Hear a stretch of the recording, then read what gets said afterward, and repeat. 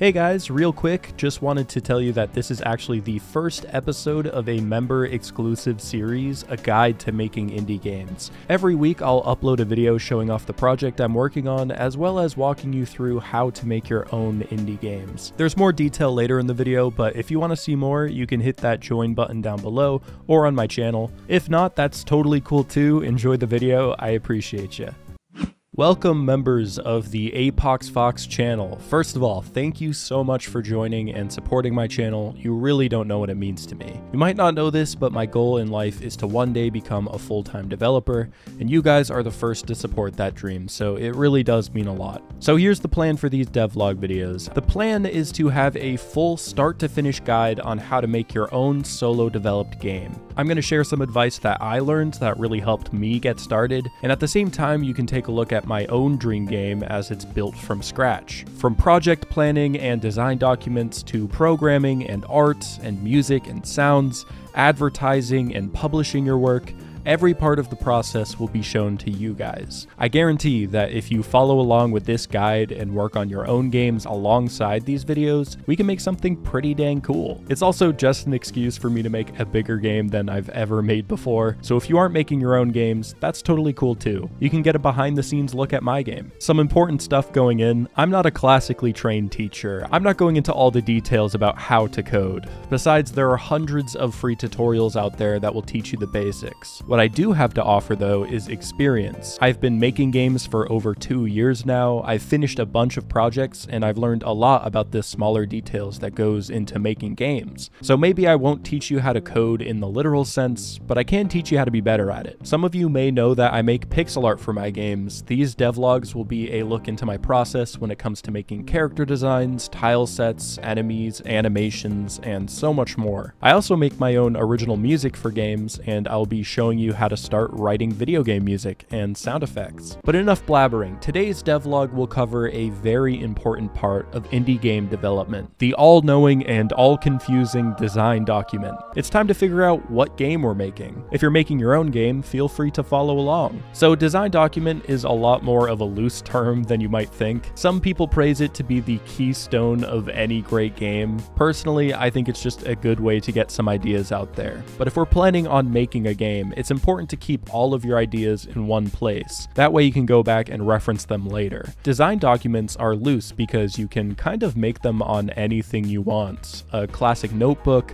a Google Doc. I personally use a website called Milanote, which is a great way to organize your projects, but you can really use whatever you want. Every great game starts with an idea. It could be a mechanic like a platformer where the player controls the gravity, or a shooter where you have to protect a robot robbing a bank. I won't lie to you, ideas are surprisingly one of the most challenging parts about game development. Well, ideas are easy, obviously, but good ones are hard to come by. There is a cheat code to come up with ideas, though, that completely changed the way I make games. I read a great book by Austin Kleon called Steal Like an Artist. The thesis was basically that there's no such thing as original ideas. Everything is stolen from somewhere else. So in order to find inspiration for your games, look to the games that inspire you. I make the first section of my design document into kind of a mood board filled with stuff I want to steal from. Sounds bad when you say it that way, but honestly, that's where most of the original ideas are are going to come from, so just bear with me. Take screenshots and mechanics and art styles and music from all different kinds of places. For me, I know I want to make a platformer that feels challenging like Celeste. I want a focus on speedrunning like Neon Whites. I want stakes and storytelling like Danganronpa. Throw all of these inspirations into one place, and eventually you can get a clearer picture of what kind of game you're going to make. Now that you've got that fiery motivation to make something, it's time to scale the project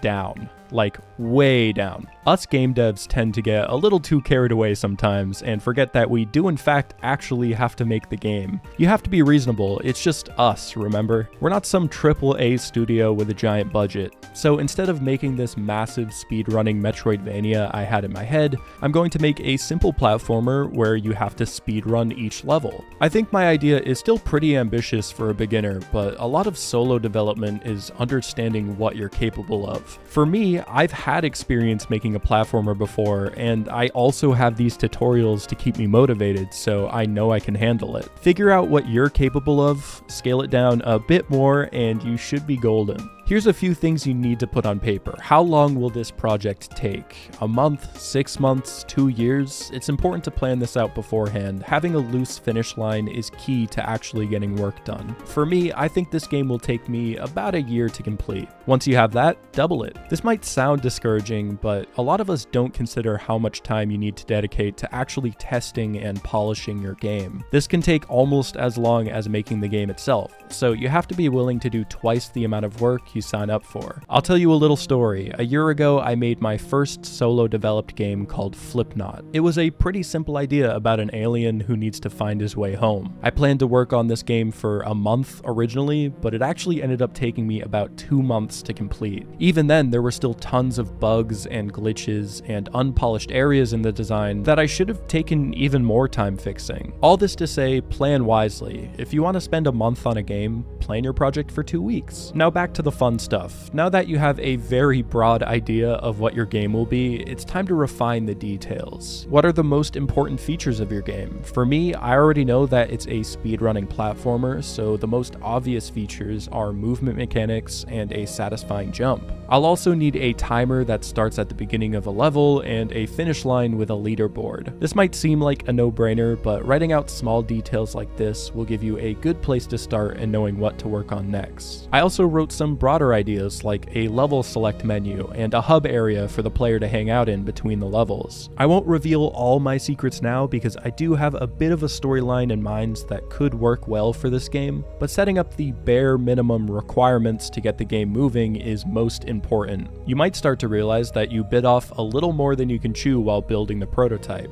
and that's totally okay. Figuring this stuff out during the process will happen naturally, so don't overthink it too much. Just find something to latch onto and see if it works. Other game devs might not agree with this, that's totally fine, but I think this is a good point to close the design document and start actually making the game. We got some good ideas, let's see if they work. So I started this project as I start any project with a character controller. You'll notice that I already have an art sprite for my character. The reason for this is that I've actually actually been planning this game for a very long time. I'd recommend not focusing on art just yet though, especially if you haven't even started your game. When you start adding more content like art and sounds to your game, things can get chaotic very fast. Ideally, the first prototype project should feel messy and ugly, but not stressful. Plans change, mechanics and ideas change. Don't put unnecessary work into something that you aren't 100% about yet. That being said, I'm going to start with the sprite because I think she's cute. So now that I have the basic controls down, it's time to start working on building a level. Luckily for platformers, this is very easy. Just grab a bunch of different sized squares, place them around and test them,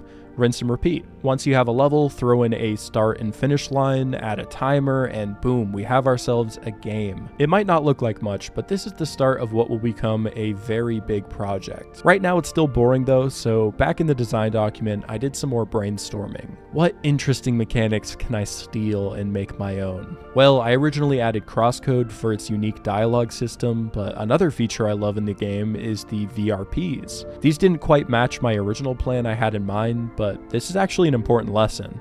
Just because you think something won't work doesn't mean you shouldn't at least try it. It could be a fun mechanic, and we can always go back and change things later. Remember, this is the time to throw everything at the wall and see what sticks. Don't put too much pressure on yourself to make a great game right away. Let the game become fun by itself. So implementing these projectiles should be pretty simple. You aim with the mouse and fire by clicking. I decided to set up a level requirement where you need to pop three balloons in order to successfully finish the level. It's simple for now, but but there's a lot of potential here. The balls could bounce off walls in order to hit switches or hard to reach enemies. Maybe charging the projectile adds knockback so you can use it to boost yourself to high ledges. Just by mixing a few ideas from other games, we've started to come up with something pretty original. And now we have the basis for what our game will be built on. This might change later, but for now, I think it's a great starting place to get us moving in the right direction. Here's some homework for those of you who are building your own games. Start building your most simple idea ideas and fine tune them until they feel fun.